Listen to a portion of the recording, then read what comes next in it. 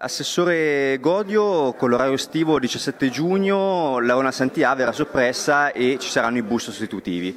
La provincia che ruolo avrà in questa, in questa situazione?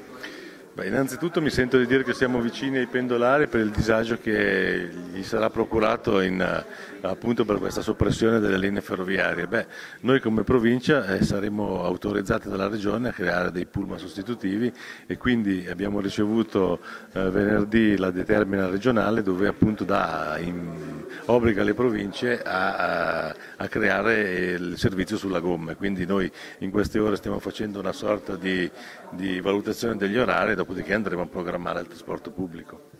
Ecco, cosa succederà però? Il problema è, è lo snodo di Romagnano, in cui poi si passa alla provincia di Vercelli. Cosa succederà in questo caso?